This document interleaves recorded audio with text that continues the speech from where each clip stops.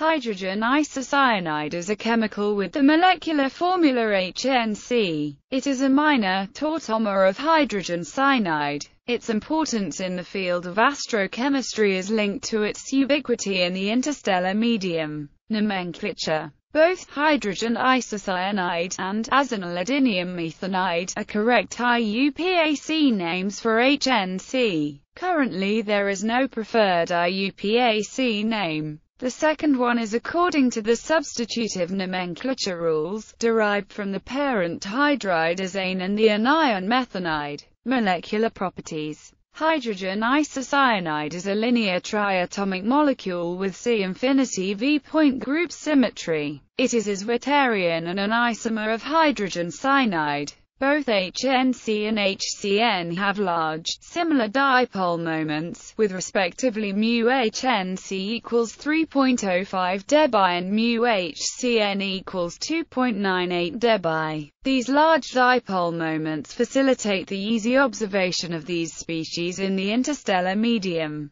HNC-HCN tautomerism as HNC is higher in energy than HCN by 3920 cm 1. One might assume that the two would have an equilibrium ratio at T less than 100 K of EQ, T less than 100 Chi less than 10-25. However, observations show a very different conclusion. Observed is much higher than 10-25, and is in fact on the order of unity in cold environments. This is because of the potential energy path of the tautomerization reaction. There is an activation barrier on the order of roughly 12,000 centimeters minus 1 for the tautomerization to occur, which corresponds to a temperature at which HNC would already have been destroyed by neutral-neutral reactions. Spectral properties in practice, HNC is almost exclusively observed astronomically using the J equals 1 0 transition.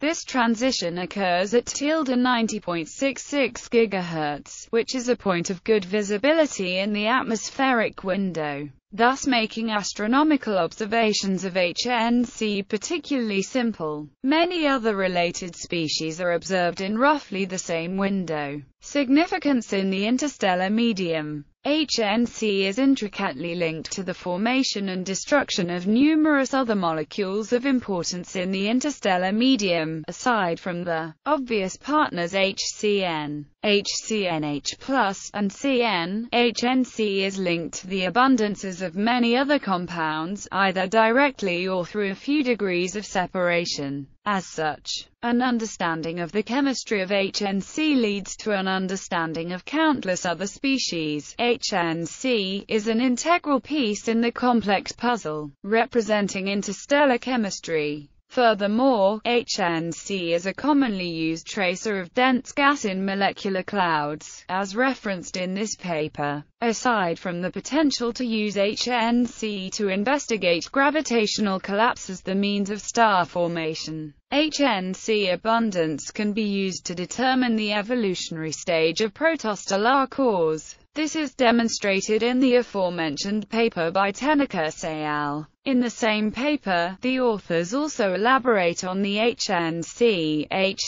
abundance ratio as a means of determining the temperature of the environment. This paper demonstrates a myriad of uses for knowledge of the abundance of HNC. In it, the HCO plus HNC line ratio is used to good effect as a measure of density of gas. This information provides great insight into the mechanisms of the formation of luminous infrared galaxies LIRGs, as it provides data on the nuclear environment, star formation, and even black hole fueling. Furthermore, the HNC-HCN line ratio is used to distinguish between photon dissociation regions and X-ray dissociation regions on the basis that HNC-HCN is roughly unity in PDR sources, but greater than unity in XDR sources. The study of HNC is a relatively simple pursuit, and this is one of the greatest motivations for its study. aside from having its J equals 1 0 transition in a clear portion of the atmospheric window, as well as having numerous isotopomers also available for easy study.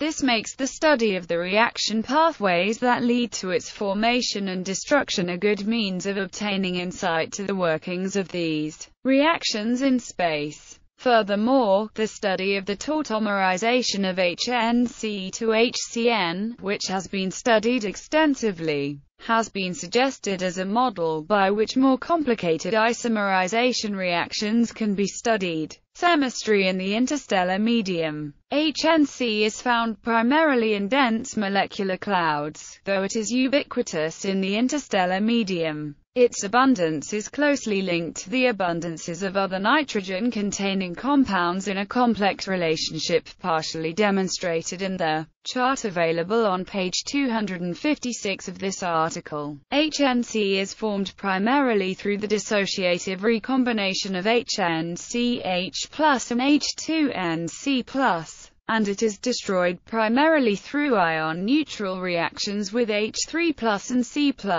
These facts are corroborated in both this article and this article. Rate constants are taken from udfa.net, and data on fractional abundances is taken from this article. Rate calculations were done at 3.16 x 105 years, which is considered early time, and at 20 K, which is a typical temperature for dense molecular clouds. These four reactions are merely the four most dominant and thus the most significant in the formation of the HNC abundances in dense molecular clouds. There are dozens more reactions for the formation and destruction of HNC, though these reactions primarily lead to various protonated species. HNC is linked closely to the abundances of many other nitrogen-containing molecules, for example, NH3 and CN. The pathways leading between these species can be found in the paper by Turner et al.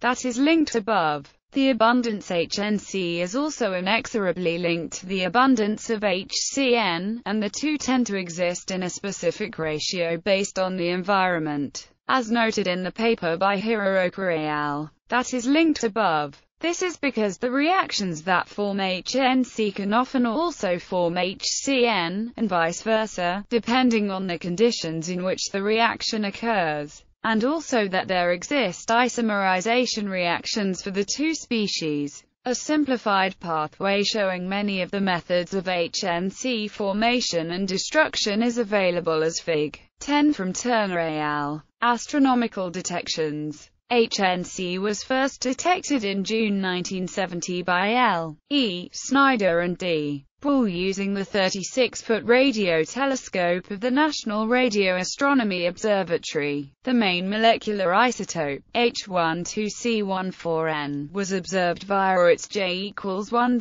transition at 88.6 GHz in six different sources. W3, Orion A, SGRA, W49, W51, DR 21. A secondary molecular isotope, H13C14N, was observed via its J equals 10 transition at 86.3 GHz in only two of these sources. Orion A and SGRA. HNC was then later detected extragalactically in 1988 by C. Henkel, Mauersberger, and P. Schilke using the IRAM 30M telescope at the Pico de Veleta in Spain. It was observed via its J equals 10 transition at 90.7 GHz toward IC 342. A number of detections have been made towards the end of confirming the temperature dependence of the abundance ratio of HNC, HCN. A strong fit between temperature and the abundance